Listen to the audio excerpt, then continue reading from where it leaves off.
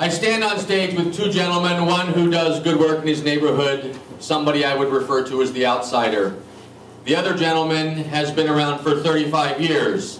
I think it's safe to call him the insider.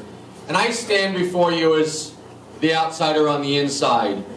I have an acute sensitivity for how things are and how they should be. And I have a significant track record working within City Hall to identify problems and to come up with solutions. So I offer myself as the outsider on the inside. Tonight you have a choice to make. Mr. O'Grady offers a symbolic gesture of cutting his salary in half. It would be meaningful if there were 3,500 council members willing to join him in that gesture, but there aren't.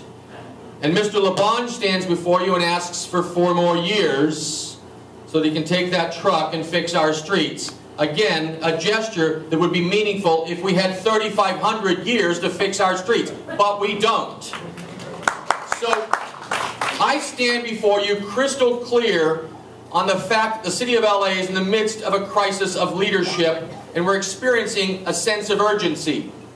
Imagine the Titanic heading toward the iceberg. Mr. O'Grady would run to the to the bridge and cut the captain's salary in half and then throw half the staff overboard. Mr. LaBonge would say, give the captain some more time. And I stand before you committed to taking the wheel and turning this ship around. Yeah! Yeah!